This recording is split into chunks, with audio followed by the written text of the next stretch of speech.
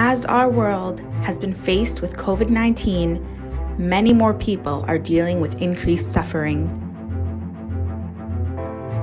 This is why MADA is launching a vital giving campaign. You can't mask hunger. Support MADA on the front lines. Our organization has not closed its doors for even one day. We have expanded our services and are working harder than ever to help our community and fulfill our mission of goodness and kindness in these extraordinary times. But our impact is only as strong as yours. Your help is needed now more than ever because hunger is not an option.